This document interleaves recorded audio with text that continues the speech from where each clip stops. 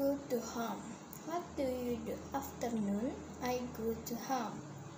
They drink avocado juice.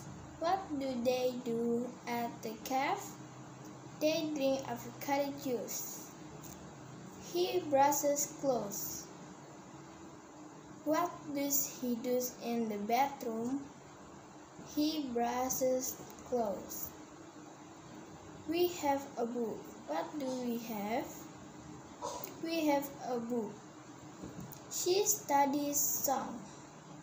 What does they do in the room? She studies song.